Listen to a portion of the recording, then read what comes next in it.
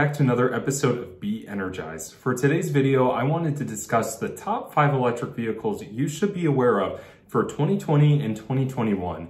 We have some exciting electric cars that we're going to be talking about today. Before I begin, I just want to say if you haven't yet, please consider subscribing to my channel using the subscribe button below. It helps my growth and I definitely appreciate every subscriber. Thank you very much. Anyways, let's get started talking about these exciting electric cars. So the first one on my list is from BMW. This is the BMW i4. This is going to be their all-electric sedan that is going to be coming out sometime in 2021.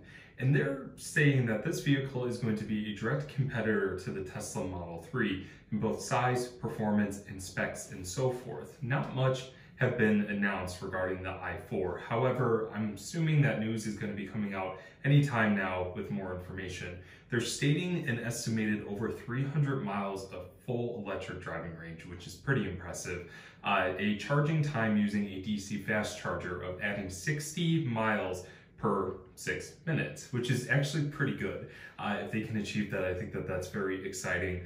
Uh, it's going to have a beautiful four-door coupe style. Uh, it's going to be very similar to some of the Grand Coupes that we see from BMW, like the 6 Series Grand Coupe, the 4 Series Grand Coupe, and so forth. So the i4 is going to be a very beautiful vehicle. The only thing is, and I'm keeping my fingers crossed, is that BMW can keep the price in a reasonable level.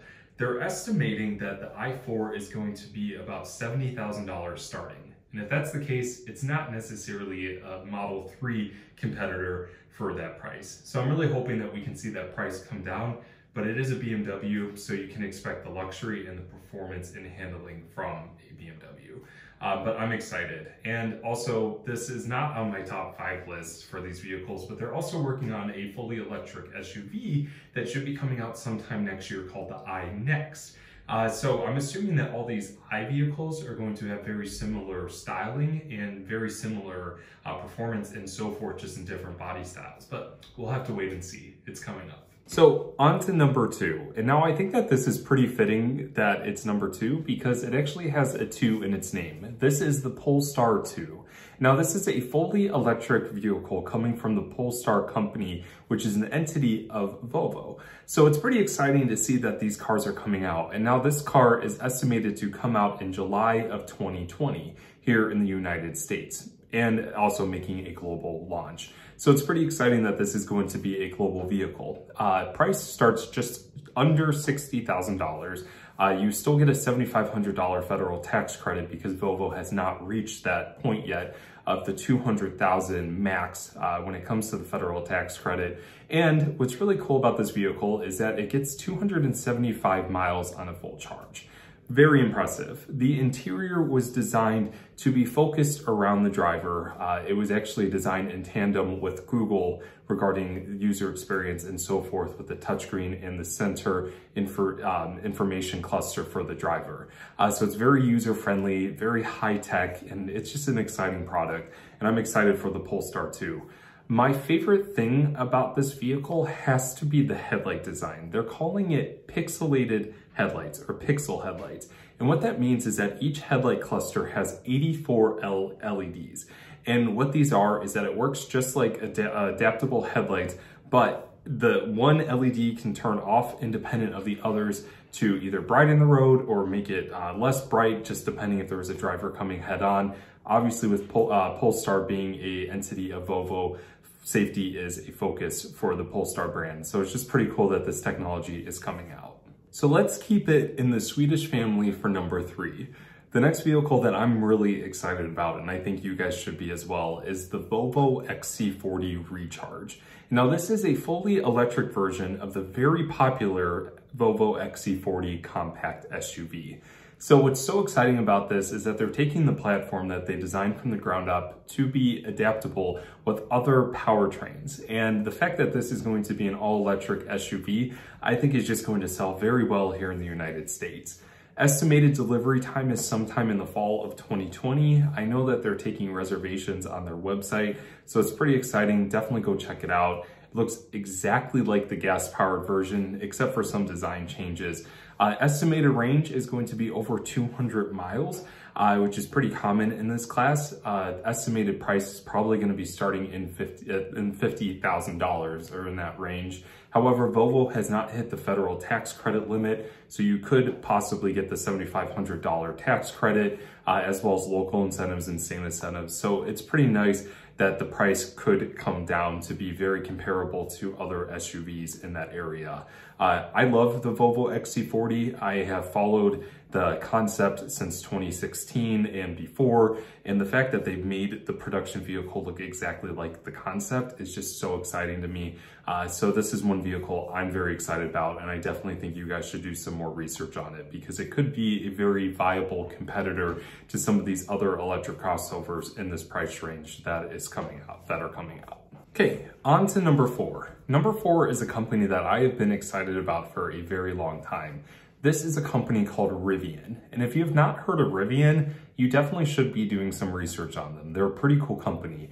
They have investors backing them up, such as something you may have heard, Amazon, uh, as well as Ford and Cox Automotive. So they are a very well-backed company that is working to make an all-electric pickup truck and an all-electric SUV. And now the coin or the term that they've coined is actually adventure electric vehicles. So it's pretty exciting that Rivian is designing cars and electric vehicles to be used for outdoor purposes, for ruggedness, for going out, um, you know, off-roading and so forth. So the two cars that I want to talk, and yes, I know that this kind of adds up more than five now because I talked about the iNext previously, uh, but these are the two cars Rivian are, is coming out with. It's the R1T, which is their pickup truck, and the R1S, which is a full-size SUV that can sit up to eight passengers. They're estimating range to be over 400 miles. Uh, horsepower figures, which is 750 horsepower. 0 to 60 time in under 4 seconds. It has a feature called tank turn, where if you're in the wild and you're off-roading, your vehicle can literally turn on a dime uh, using this feature. So it's so cool what they're coming out with. Um, sadly, just due to recent circumstances, they are delaying production and delivery to sometime in 2021 when they were trying to start delivery in 2020 but it will be here before we know it. And I definitely think that these vehicles are something worth waiting for. They look very special. And I know a lot of people are waiting for these. So definitely check out the Rivians. They're taking reservations with a $1,000 deposit that is fully refundable, but definitely check them out. They're really cool. And last but not least, this vehicle actually, I believe is the most controversial vehicle on our list today. And this is the Ford Mustang Mach-E. This is an all-electric crossover that Ford unveiled back in November of 2019. And this is a vehicle that they have been uh, pretty much working on for years now. And the reason it's controversial is that a lot of people don't feel like this car should have the Mustang name and logo on it, which I understand, but with electric vehicles, as we know, are high performance, you get the instant torque, and I think anything that is Mustang inspired should have a name that gives off performance, hence Mustang Mach-E. So what's really exciting about this vehicle is that it is a compact SUV. It has this beautiful interior that's very modern. It has a soundbar along the um, front dashboard. It has this big massive touchscreen that pretty much controls everything in the vehicle and so forth. Um, estimated range is over 200 miles and the top vehicle can actually get close to 300 miles or more depending on your driving style. So it's pretty exciting. Um, they are expecting deliveries to start at the end of 2020. Uh, the first edition uh, pre-reservations have actually all been full, uh, so you will have to pre-order some of the other trim levels, um, but there's some exciting colors, designs, rims, and so forth. Um, me personally, I'm very excited about the Mach-E.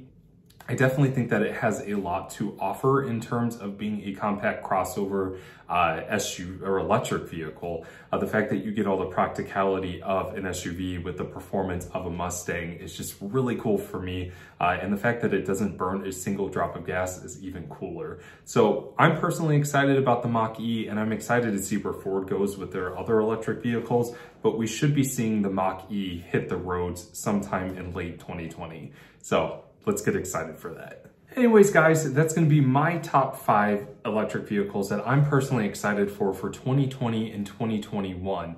If you agree with my list or disagree with my list, please let me know in the comment section below. I would love to learn what you're looking forward to uh, up with this upcoming year as well as next year when it comes to electric vehicles. But anyways, guys, thank you guys for watching this video. If you haven't yet, please consider subscribing to my channel. I'm excited to be coming out with new content and uh, some exciting, more educational uh, related electric vehicle videos. But anyways, guys, thank you again. Make sure you make every single day electrifying, and I hope you guys are taking care and staying safe. See you guys.